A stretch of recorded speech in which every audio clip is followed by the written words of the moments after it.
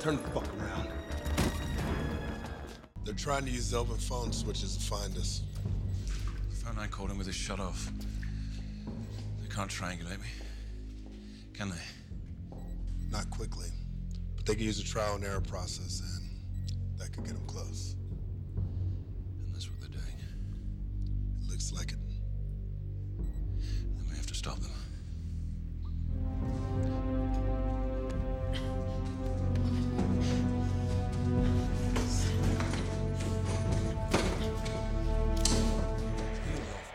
I have to talk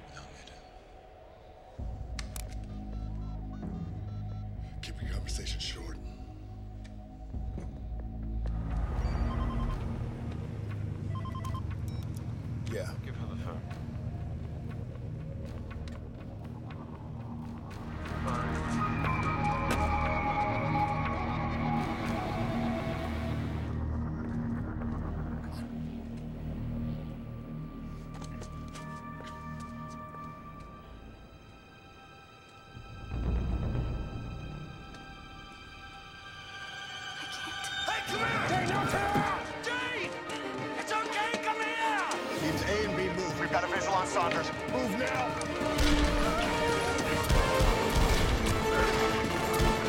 Oh! Stay put. What's this about? It's about her. You know where she is? Maria? I, I wish I knew. You think I'm screwing around, man? Whoa, whoa, whoa, man! I haven't seen that bitch in a week, okay? Who did that to her face? Her pimp. Oh, yeah, that's right. That's you. Man, I never put my hand on any of my employees. That's some old school bullshit. I know, man. I'm sorry. You see? I'm sorry. Nothing, right? She's not here, see? I didn't. I didn't mean to run up all up in here. And yeah, you come up here rushing up in your white man house, man. You know what I mean? I'm sorry. I'm sorry. Just forgive me. I'm, All right, brother. I think you got about three seconds to tell us where the score is going down. One, two, three. I had dinner with the judge who heard your case, so you tell me where, and I swear to God you'll walk out of here. Did you say Alton? My bad. I thought you said Alan. Oh, man. Khalif, man, I didn't get no invitation. Okay, where did you send it? To your house. What house? Your house on Carmel. Okay, Khalif, I moved out of that house nine months ago. I live with my girl now. Danny McCoy. I've heard of you. I don't know you. Why are you calling on me? I need information. What do I get out of it? Nothing. Hundreds of people party here every day, every night, man. It gets crazy. But her, her I remember. Really? Why? She was a pain in my ass. Out of her mind drunk, had to give her the boot. Did you see her with anyone? There was this hot blonde who um, helped her walk out. Must have been her friend. Yo, you all right, Pete? Yeah, just trouble on the home front, you know? Ah, that baby mama drama.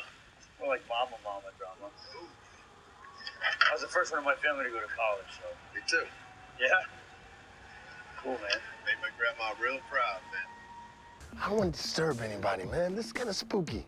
Your running disturbs only the living, believe me. For years, all I've done is block linemen, all right? Not avoid them. Okay, that's my job. I don't see what this is gonna do. Well, you won't know if you won't try, will you? I promise you, no ghost will pop up and say boo, but 70,000 people will on Sunday. Beat the clock, I'll buy you a cookie.